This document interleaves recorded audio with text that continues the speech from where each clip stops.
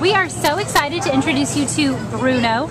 Bruno's ID number is A4922917. He's a male, black and tan, short-haired Chihuahua, and we think he's about a year and a month old. He came into the shelter as a stray on February 26th from the city of Lynwood, and he's a small guy. About how much would you say he weighs? I'd say about 10 pounds. Okay. Not a little less, maybe like 8 pounds. Okay, he's a little guy. Uh, he's very, very, very sweet. He um, is very easygoing, as you can tell. He loves to be held. He loves affection. See, he's uh, he's holding on to her hand, saying, you know, keep on petting me. He uh, seems to get along well with other dogs. He walks okay on a leash.